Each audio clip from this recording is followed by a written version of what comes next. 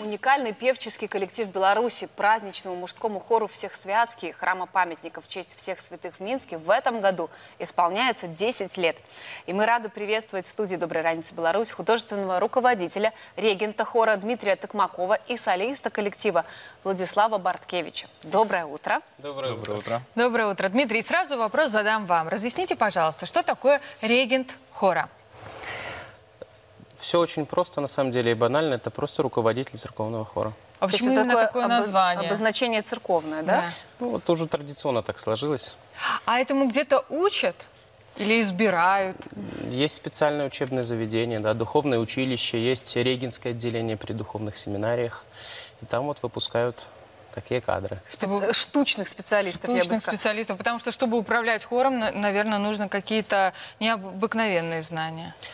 Да, конечно. В основном сегодня регенты – это те музыканты, которые закончили э, хоровое отделение э, в средних специальных учебных заведениях или в академии музыки. Вот, на самом деле э, многие регенты не имеют профессионального образования, э, в, не оканчивают духовное училище uh -huh. или семинарию.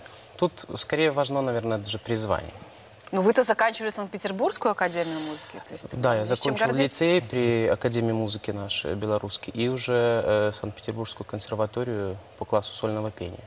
А почему ваш хор называется «Праздничный»? С приставкой «праздничный». Поясните нашему Да, зрителю. мы участвуем в праздничных богослужениях, в воскресные богослужения.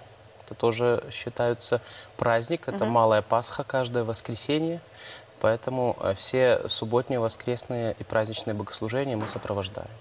Ну, вот хор был основан в 2013 году в приходе э, в, храма в честь всех святых. Да, да это сложное название, но это действительно уникальный храм. Uh, уже не будем касаться того, что там и крипто есть, и очень много интересных всяких артефактов. Но как вообще возникла идея создания такого хора, мужского, профессионального и праздничного?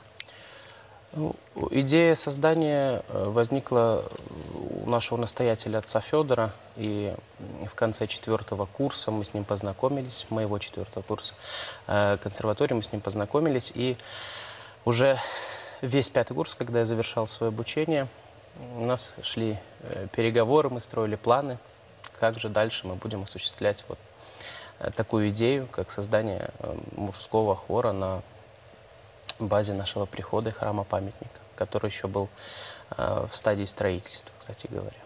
Ну, спасибо этой прекрасной идее. Вы это уникальное явление у нас в Беларуси. Да, это говоря? единственный, единственный мужской да. церковный хор у нас в Беларуси. У меня вопрос к Владиславу. Десять лет прошло, да, у вас уже собрался такой хороший коллектив. Скажите, а, хор это прежде всего люди, и как туда попасть? Как вы туда попали? Как стали певчим? Ну, в первую очередь хочется сказать о том, что состав хора состоит из 80% выпускников или студентов Белорусской государственной академии музыки. То есть все люди с профессиональным образованием? Да, да исключительно угу. все. А, моя история началась также 10 лет назад. Э, я учился в колледже при Академии музыки. Э, узнал, что объявлен набор на прослушивание. Пришел, исполнил, обычно состоит из двух-трех э, туров, исполнение сольной программы, чтение нот с листа, ну и уже личной консультации с руководителем. И после этого меня зачислили в ряды мужского фора всех связки, где я по сей день и участвую. И мы а вас есть, с этим поздравляем. Да, есть какие-то определенные обязательства, которые на вас налагает именно э, вот эта профессия, если можно так назвать? Ну, в данном случае это присутствие на всех богослужениях праздничных. Это обязательно. Угу. Ну и, наверное, какое-то поведение соответствующее, да? Ну, само собой, да. Ну вот, кстати, о богослужениях. Мы знаем, что хор исполняет в первую очередь, доносит молитву Богу во время богослужения. А какой у вас репертуар? Какую музыку вы исполняете? Кстати, сегодня в конце нашей программы мы услышим это. Расскажите о репертуаре немного. Тут нужно разграничить. Это богослужебная музыка или все-таки то, что мы исполняем за пределами э, церковных стен? Что вы исполняете концертах? за пределами церковных э, стен? Потому что вы же совершили тур по Беларуси да. и закончили большим концертом в Минске. Да. В этом году у нас уже, кстати говоря, два тура было. Два тура. Это рождественский был. Зимние мотивы мы их назвали. Мы проводим уже четвертый год, кстати говоря, под этим названием. И э, вот буквально неделю назад мы завершили э, тур э, песнопений Великого Поста. Вечера э, песнопений мы проводили по городам Беларуси. И э, самое важное, что это все происходило в стенах храмов. Это было что такое... там и акустика соответствующая, правда? Да, да. Угу. Это, было не, это был не просто концерт, мы его и не называем концертом. Это был вечер, потому что, э, во-первых, это в стенах храма проходит. Во-вторых, это в период Великого Поста. Это особый абсолютно период для э, православных, вообще для христиан. Угу. И вот. репертуар соответствующий, да? Да, конечно. Да, репертуар – это такие покаянные богослужебные тексты и а, много духовных стихов. Это вообще особенное такое у нас э, занимают место духовные стихи. Это очень такой близкий жанр народу. Вот в конце программы вы услышите одно из произведений, э, один из духовных стихов. Вот, поэтому да, вот у нас уже два тура прошло, и впереди очень много планов концертных, в том числе и поездки э, за рубеж, гастроли. Это вот в честь юбилейного года или для юбилея есть какое-то особое мероприятие отдельное?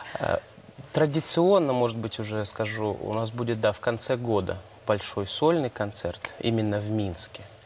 Но у нас еще предполагается серия концертов с другими коллективами. Ну, с теми, с, с кем мы хорошо общаемся, дружим. Э, есть какие-то общие идеи, планы творческие. Мы с ними будем встречаться тоже э, на площадках и в Минске, и даже в других городах тоже. Ну, мы там услышим прежде всего, конечно же, Владислава, как солиста хора, а, вот, и других исполнителей, которых прямо, буквально через одну минутку услышите и вы, наши дорогие телезрители. Напоминаем, у нас в гостях были художественный руководитель, регент мужского хора «Всех Святский» Дмитрий Токмаков и солист коллектива Владислав Барткевич. She